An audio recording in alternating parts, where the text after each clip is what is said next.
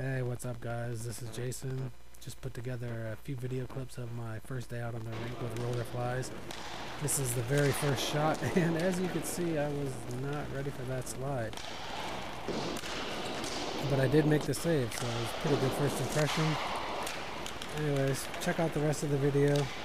Stay tuned for my next video. And uh, thanks for watching.